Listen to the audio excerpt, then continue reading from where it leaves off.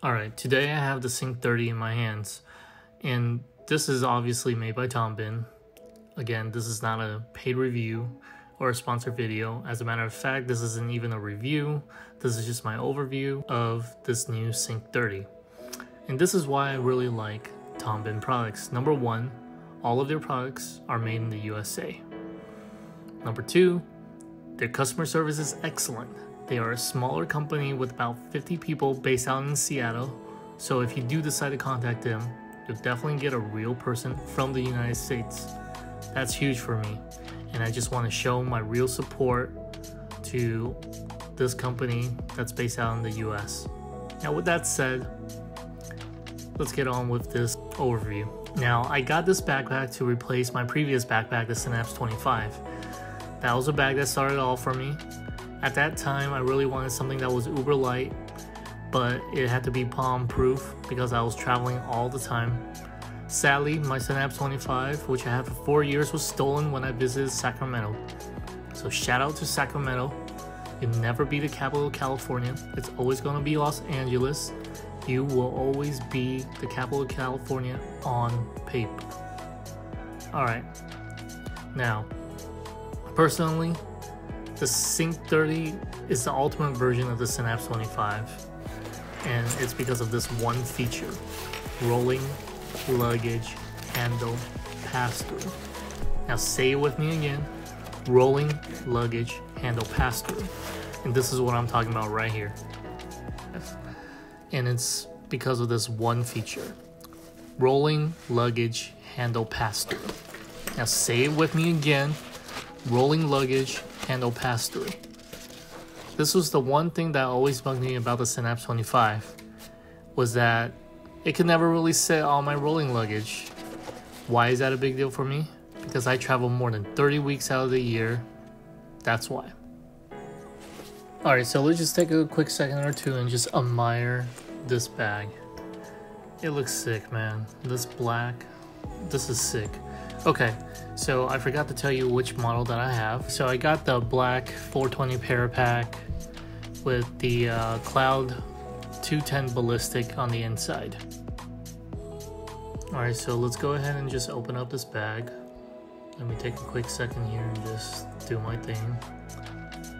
Camera's struggling with the autofocus. Um, so I've opened up the bag and here is that mesh padding for your laptop. They didn't have this in the uh, Synapse 25, which was kind of a bummer because you know you spend 200 bucks and you don't really have any padding for you know that two, three thousand dollar laptop that you are flexing with. Okay, and now you have this side pocket here which you can access your laptop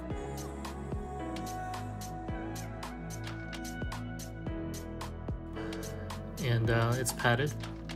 Let's go ahead and zip that back up.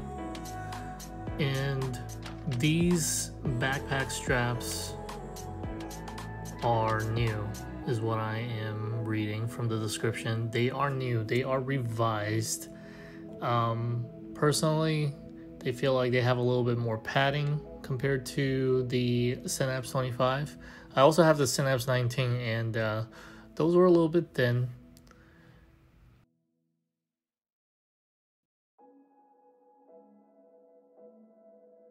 Let's keep it moving. So you have this waist strap there that is included.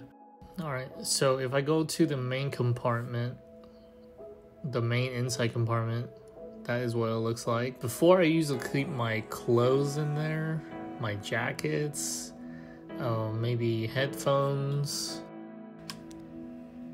All right, let's keep it moving. Next, we're gonna talk about this pocket that I really love. This is the water bottle pocket or the water bottle compartment.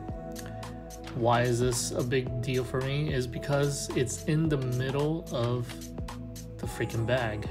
And why is that important? Well, it does not shift the weight of your backpack left or right. It keeps it centered.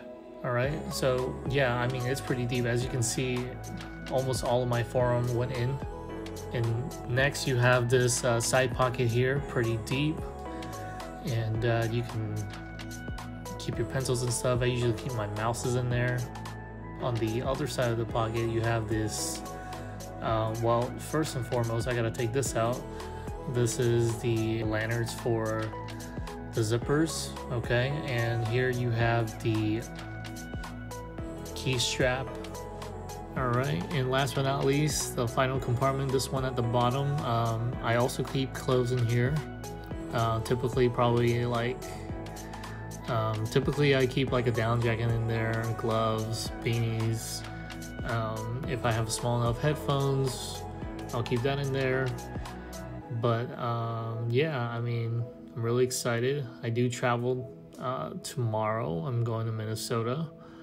And uh, we'll see how this bag works out. Um, the one thing that I'll notice about this bag is that um, this black gets kind of, I don't know what it is, but it's kind of dusty looking. And uh, it takes a little bit to just kind of wipe. You probably need like get something wet and wipe that down to get rid of it. But um, yeah, this is, this is my quick overview of the Synik 30 by Tom Bihn. Thanks for watching.